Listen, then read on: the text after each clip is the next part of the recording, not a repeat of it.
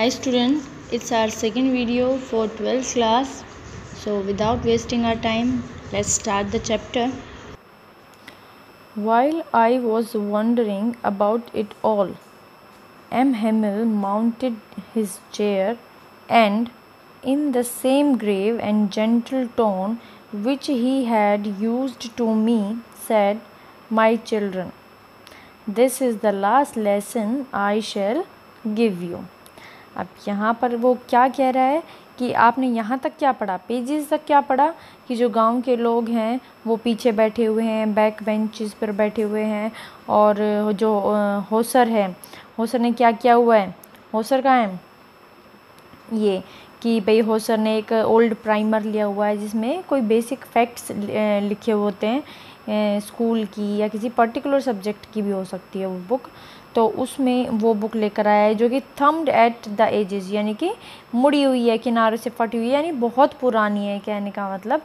और उसने अपने घुटनों पर रखी और उस पर अपना चश्मा रखा। तो उसके बाद क्या while I was wondering about it all कि जब मैं इस सब के बारे में हैरान था, ये सब देखकर कि गाँव के लोग पीछे बैठे हुए हैं और मेरे टीचर ने आज ये नई ड्रेस पहनी हुई है, इन सब में, इन सब चीज़ों से हैरान था, तब miss M Hamel mounted his chair mounted mounted means क्या होता है? माउंट मीन्स होता है कनेक्ट होना। तो अब यहाँ पर आप कनेक्ट होना से मतलब क्या? बैठना भी ले सकते हो और या फिर उसके साथ खड़े होना, है ना? चेयर को पकड़कर खड़े हो जाना। ये भी मान सकते हैं। तो वो अपनी चेयर के पास खड़ा हो गया या फिर चेयर पर बैठ गया। And in the same grave and gentle tone और बिल्कुल उसी टोन में और उसी ग्रेव ग्रेव क्या है? सीरियस यानी कि सीरियस आवाज़ में उसने कहा which he had used to me यानी कि जो कि उसने मेरे लिए यूज़ की थी। जब मैं अंदर आया था क्लास के अंदर तो उन्होंने मुझे क्या कहा था? कि भाई हम तुम्हारे बिना ही चैप्टर शुरू करने वाले थे, है ना? तो जल्दी से अपनी सीट पर जाके बैठो।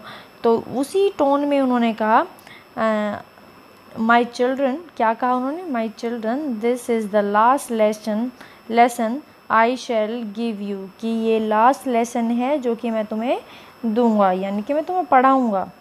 The order has come from Berlin अब ऑर्डर कहाँ से आया था?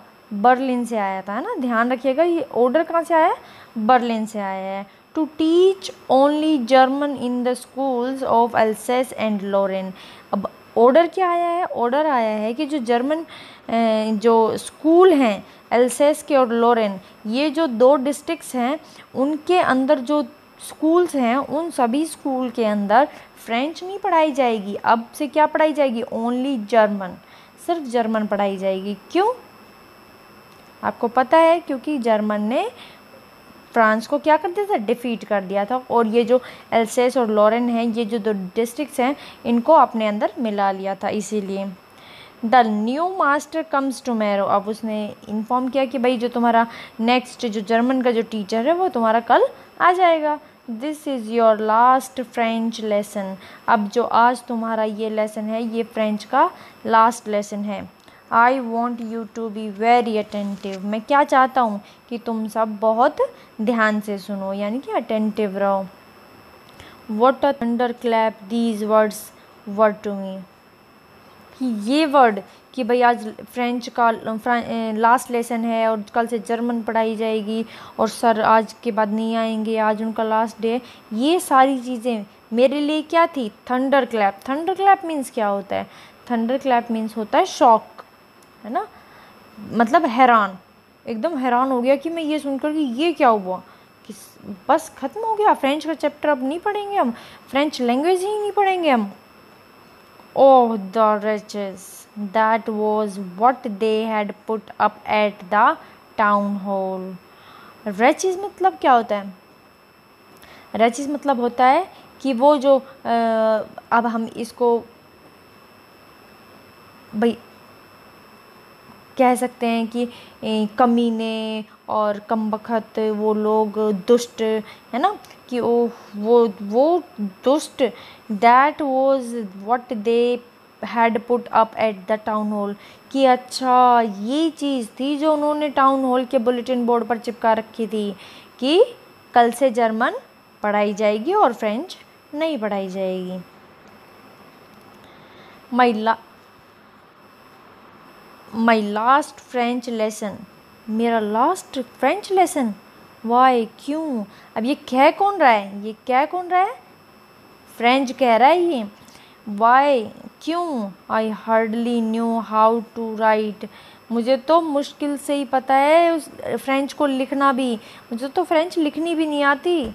I should never learn any more अब मैं आगे नहीं सीख पाऊँगा इस चीज़ को। क्यों? क्योंकि आज तो ला, लास्ट चैप्टर है फ्रेंच का। अब के बात तो सिखाएगा नहीं कोई। अब तो एक न्यू लैंग्वेज है, वो सिखाई जाएगी।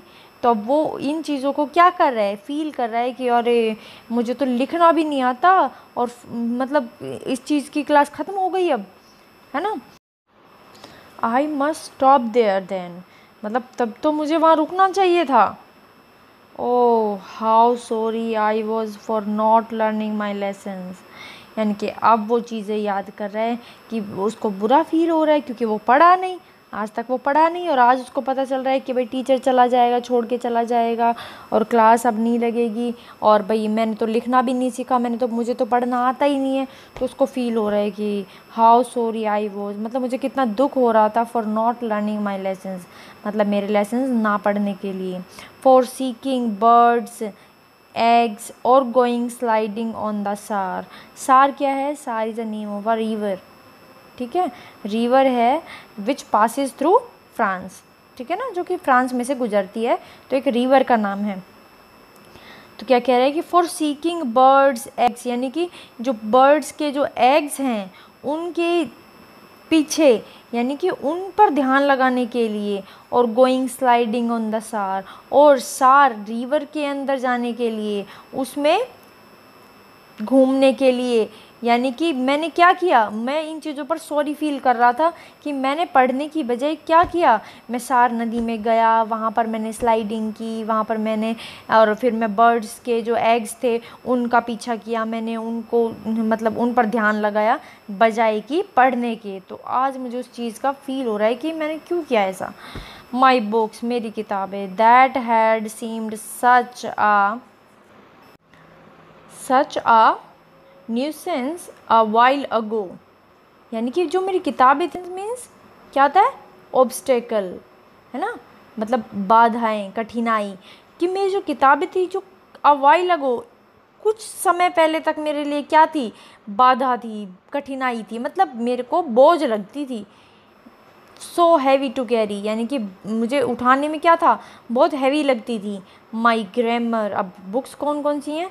मेरी grammar and my history of saints और जो संत महात्माओं की जो हिस्ट्री है, वो वर ओल्ड फ्रेंड्स नाउ पर अब वो किताबें क्या बन गई हैं मेरी? मेरी दोस्त बन गई हैं ओल्ड फ्रेंड्स बन गई हैं। That I couldn't give up जिन पर मैं क्या नहीं कर सकता। गिव अप नहीं कर सकता, यानी कि उनको छोड़ नहीं सकता। अभी तक तो अभी आज से पहले मुझे वो बुक्स कैसी लगती थी? बोझ लगती थी कि जिनको पढ़ने का मन नहीं करता था। लेकिन आज अचानक से वो चीज़ें क्या बन गई हैं मेरे लिए? मेरी पुरानी दोस्त बन गई हैं कि भाई, मैं इन चीज़ों को नहीं छोड़ सकता, मुझे तो ये पढ़नी है।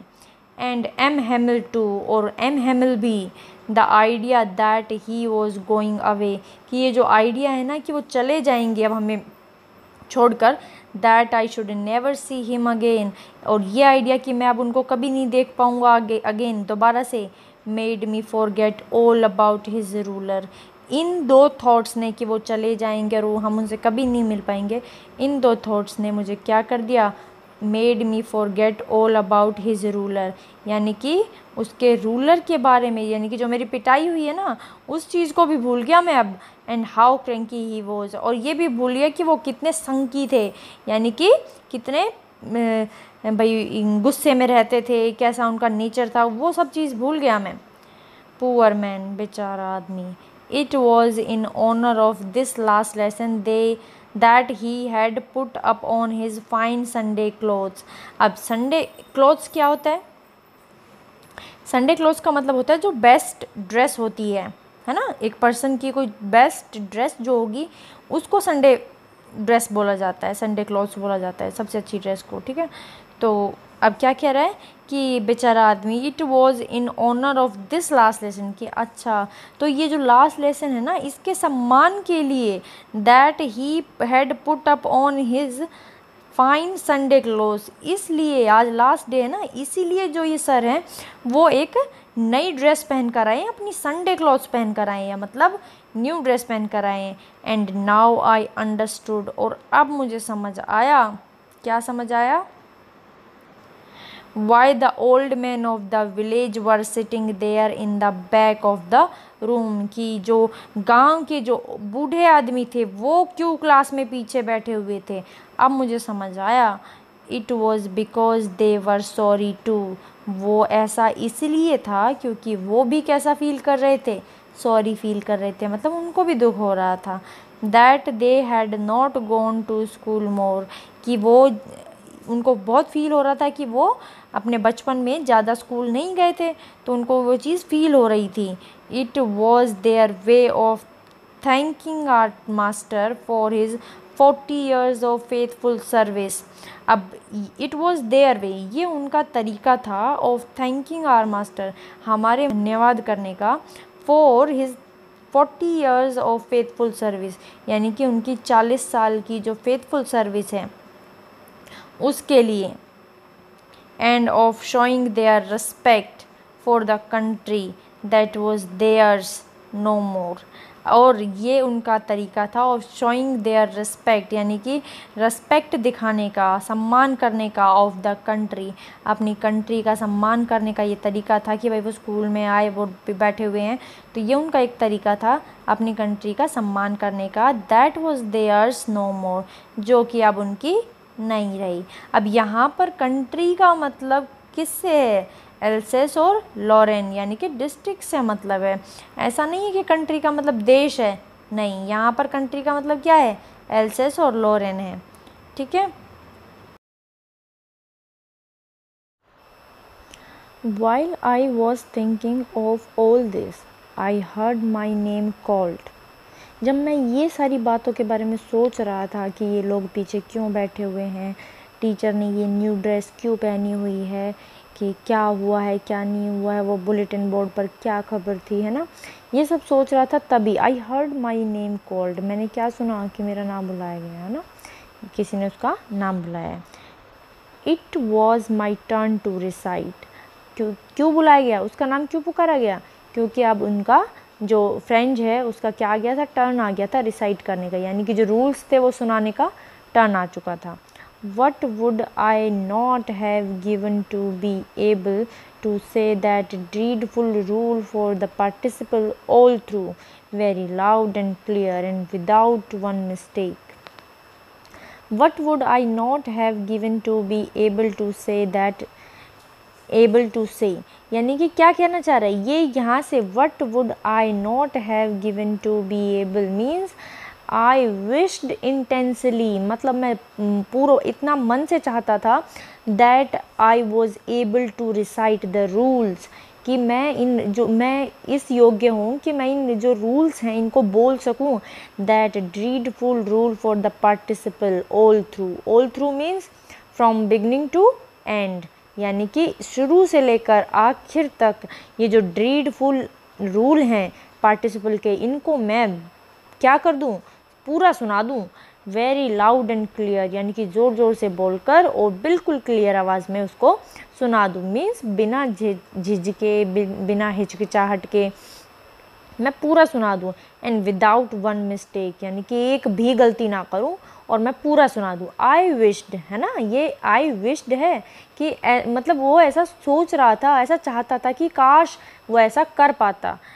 बट लेकिन I got mixed up on the first words and stood there मैंने क्या किया? मैंने क्या किया? उठते ही पहले वर्ड को ही मिक्स कर दिया। मतलब भूल गया? अब भूल क्या गया? याद ही नहीं था वो तो। याद भूलना तो क्या होता है वो? जो याद होता है वो भूल जाता है। लेकिन उसे तो याद किया ही नहीं था। तो मतलब अब याद नहीं है तो एक ही वर्ड को जैसे बार बार बोलते रहते ना बच्चे, जब उनको याद नहीं होता है तो फिर बस ये मैम मैम कर कर के उस चीज़ को पंद्रह मिनट तक चलाते हैं। तो वो चीज़ वही, अब वो भूल गया तो उसको याद नहीं आ रहा कुछ भी। अब वो खड़ा हो गया। Holding on to my desk मैं अपने आप, मैं खड़ा हो गया मतलब डेस्क पर खड़ा हो गया। माई हार्ट बीटिंग मेरा दिल धड़क रहा था and not daring to look up और मेरे अंदर इतनी हिम्मत नहीं थी कि मैं ऊपर देख सकूँ कि भाई, अब मैं रुक गया तो मैंने मेरे अंदर इतनी हिम्मत नहीं हुई कि मैं ऊपर सर उठा के देख लूँ। आई heard M Hamel say to me I won't scold you little French I heard मैंने सुना M Hamel say to me M हैमल ने कहा मुझे I won't scold you I won't means I will not means मैं तुम्हें नहीं डांटूँगा little French छोटे फ्रेंच मैं तुम्हें नहीं डांटूँगा. अब ये यू क्यों कह रहा है? क्योंकि उसने रूल्स नहीं सुनाए हैं. है ना? You must feel bad enough तुम्हें तो पहले से ही बहुत बुरा लग रहा होगा कि भाई अब तुम्हें याद नहीं है, तुम खड़े हो गए. तो तुम्हें तो फील हो रहा है, तुम गर्दन झुका के खड़े हो तो मतलब तुम फील हो रहा है. है ना? सी हाउ इट इज़ देखो कैसा कैसा है ये, है ना? Every day we have said to ourselves हर दिन हम अपने आप को क्या कहते हैं? Bah I have plenty of time bah क्या है? ये क्या है? An expression of disagreement disagreement ये जो बह है, ये क्या है? एक्सक्लामेटरी साइन है एक, है ना? जैसे आपने पढ़ा है, हुर्रा पढ़ा है अल्लाह अलास पढ़ा है है ना? तो ये यू पढ़ा है तो ये सब क्या है? एक्सक्लामेटरी साइन है। तो इसी तरीके से क्या है? ब तो ब का क्या है? कि भाई एक ऐसा एक्सप्रेशन जो कि डिसएग्रीमेंट को शो करता हो कि I have plenty of time कि मेरे पास बहुत टाइम है। I will learn it tomorrow कि मैं इसको कल लर्न कर लूँगा। अभी तो मेरे पास बहुत टाइम पड़ा है है ना? छः महीने पड़े हैं, सात महीने पड़े हैं, तब पढ़ लूँगा, तब पढ़ लूँगा। And now you see where you have come out और अब तुम देखो कि तुम कहाँ आ गए हो। मीन्स क्या रिज़ल्ट है उसका? आज तुम्हारा फ्रेंच का लास्ट लेसन है फ्रेंच का। तो अब तुम देखो कि अब तुम नहीं सीख सकते इसको। क्यों? क्योंकि अब के बाद तो क्लास होगी ही नहीं। तो उसको समझा रहे हैं अब। That's the great trouble with Alsace अब ये बहुत परेशान है है ना? एम हेमल बहुत परेशान है, क्योंकि आज उसकी लास्ट क्लास है। That's the great trouble with Alsace कहता है कि एल्सेस की तो ये सबसे बड़ी दिक्कत है, सबसे बड़ी परेशानी है। शी शी यहाँ पर किसके लिए? एल्सेस के लिए यूज़ किया गया है okay she puts off puts off का मतलब क्या है? अवॉइड करना। Puts off learning till tomorrow क्या करता है कि अपनी, ये एल्सेस की तो बहुत बड़ी दिक्कत है कि ये ना अपनी चीज़ों को, अपनी पढ़ाई को, सीखने की चीज़ों को क्या कर देता है? अगले दिन पर टाल देता है कि भाई कल लर्न करूँगा, कल उसका मतलब क्या है? ये एल्सेस से मतलब यहाँ के लोगों से मतलब है ना? Now those fellows out there will have the right to say to you how is it अब अब वो जो बाहर लोग हैं मतलब बाहर से मतलब अदर फेलोज़ जो कि अब कल से आना स्टार्ट हो जाएँगे, आपको जर्मन सिखाई जाएगी, है ना? तो जो वो हैं, वो लोग ये आपको कह सकते हैं, अब उनके पास इतना अधिकार कि वो आपको ये कह सकते हैं कि देखो कैसे हैं you pretend to be Frenchman कि तुम एक फ्रेंच मैन होना प्रटेंड करते हो शो करते हो प्रटेंड मतलब दिखावा करना, है ना? And yet you can neither speak nor write your own language और तुम अपनी खुद की ही लैंग्वेज को ना बोल सकते हो, ना लिख सकते हो, और तुम कहते हो कि तुम फ्रेंच मैन हो, है ना?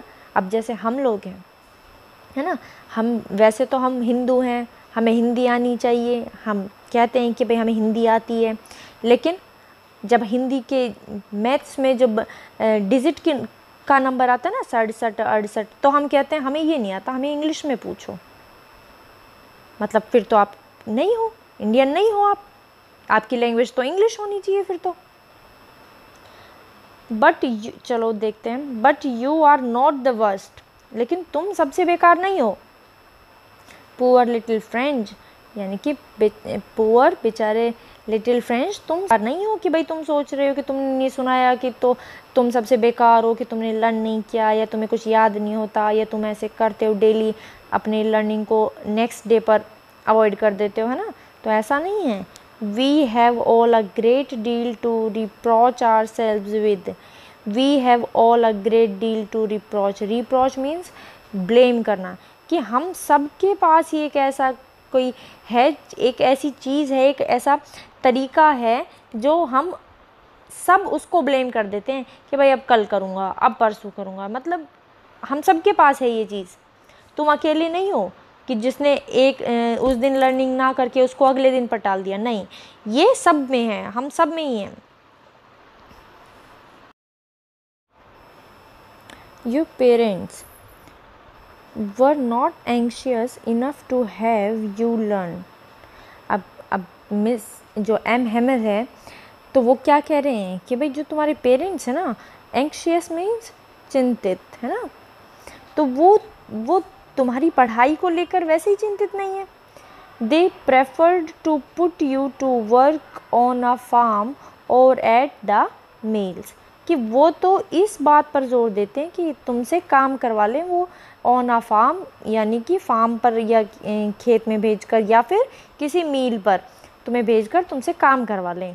So as to have a little more money जिससे कि थोड़ा सा पैसा और आ जाए, है ना?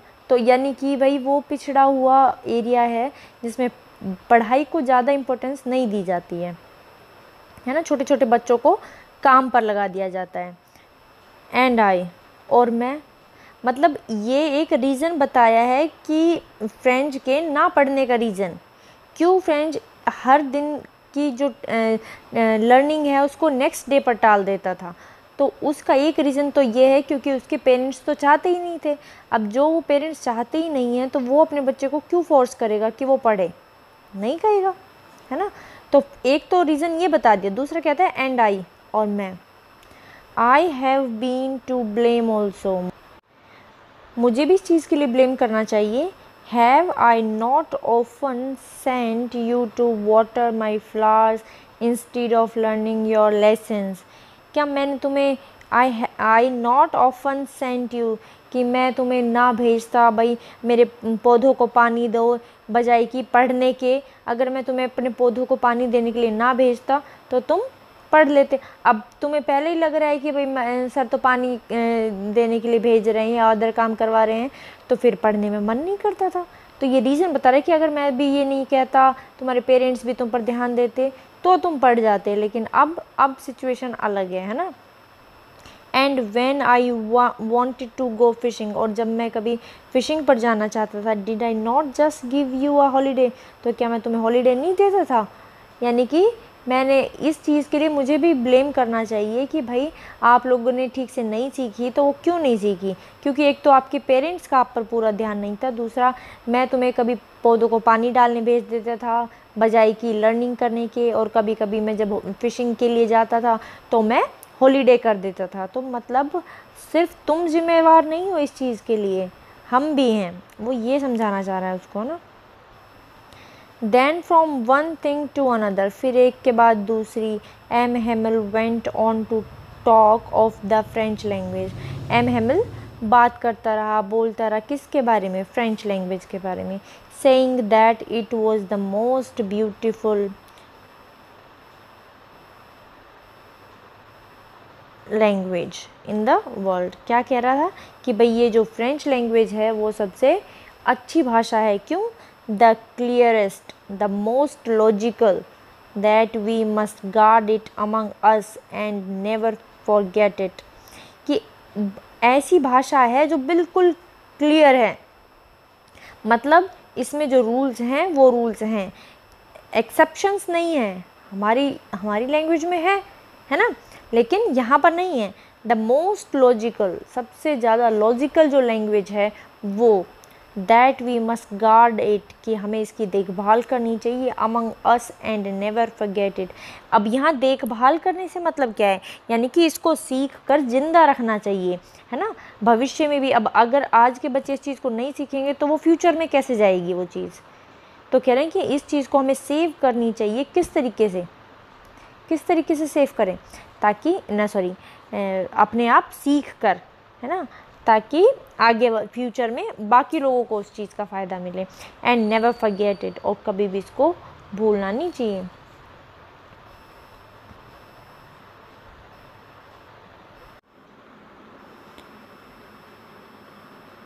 Because when a people are enslaved as long as they hold fast to their language it is as if they had the key to their prison यहाँ पर वो क्या कह रहा है लैंग्वेज के बारे में बता रहा है कि मान लीजिए सपोज़ कीजिए कि आप,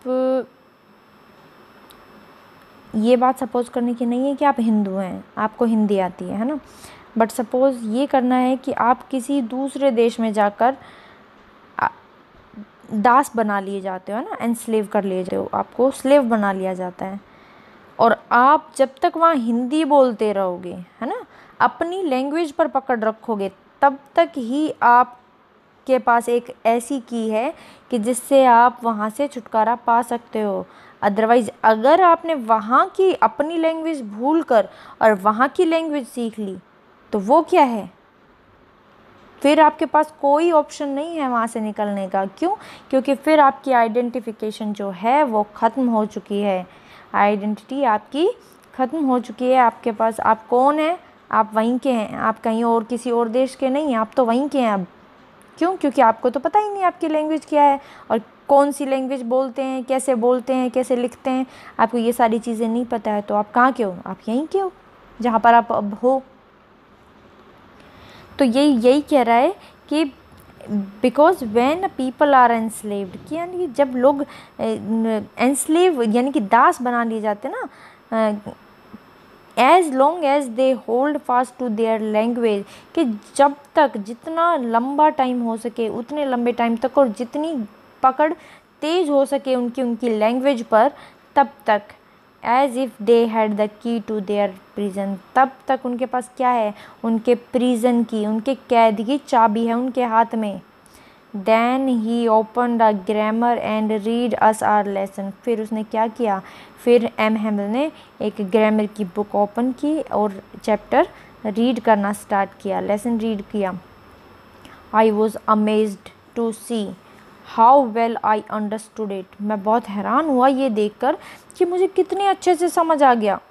All he said seemed so easy so easy यानी कि जो कुछ भी वो बोल रहे थे ना, सब कुछ बहुत ईजी लग रहा था। I okay students now I will meet you in the next video with the remaining part till then keep learning and keep watching bye bye